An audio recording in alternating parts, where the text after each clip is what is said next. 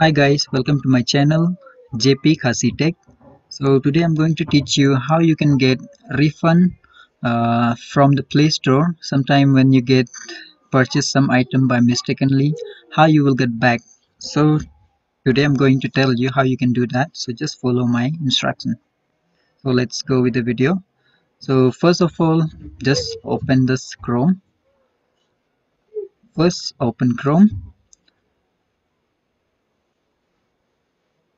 and remember one thing whenever you will uh, try to do this make sure that your chrome is login with the gmail account that is login in your play store while purchasing. So first type play.google.com in search box type play.google.com and then search. After that you just click in this three line here here. Yeah. And then just scroll down then click on account. Once it's done just scroll this one. And then you go to order history. Then here you can see if you have purchased some items you can see the list here. And since I have ordered so many so I will try to cancel few of them. Okay so for the demo purpose I'm to show you with this kilo block. Just report a problem. You will get some pop-up like this. So here you just select an option. You will get lots of options. Just select there. Like this. So you can see here there are lots of uh, options you can chase. I purchased this by accident. I no longer want this purchase. So just select the first one if you want to cancel this. Select the first one this one. Okay. Then once it's selected you will get list just scroll down. And here in the description box like please describe your issue. Here you tell the problem why actually you purchased the item and how it happened. So you just tell. Just follow. If you don't know just copy paste what i wrote here. But remember one thing this method will work only uh, before four hours of the purchase. Suppose if it is crossed like one day or two days the purchase will not be back. That means the money will not be returned to you. So make sure that you just try before four hours. So let's start.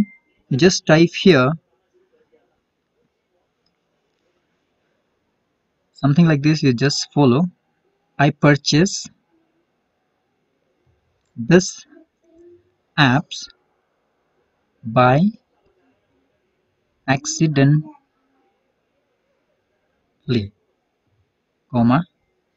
So I will be very you can write here grateful or thankful. So I'm gonna write here grateful if you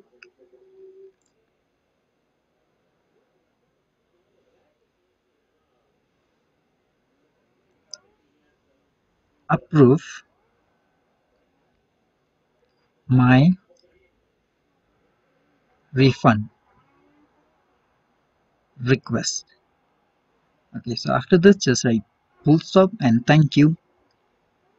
Finish. After done just submit. Click on the submit button.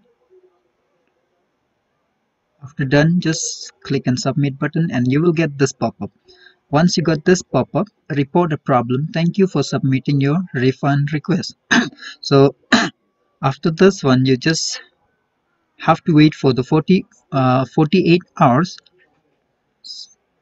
It just says uh, 48 hours, but it just came within few minutes only. It will be refund to you or to your account from where you have been purchased the item if you have purchased by using the bank account then the money will be transferred to your bank. And if you have used the your this wallet or something anything like uh, sim card or anything the money will be transferred to your sim card or else your, your wallet. So you just press ok. Click ok. And then wait for the response. So within one or two minutes you will get one message and your refund will be successful. So thank you. Only this for today. Thank you guys for watching. Please subscribe my channel. Have a nice day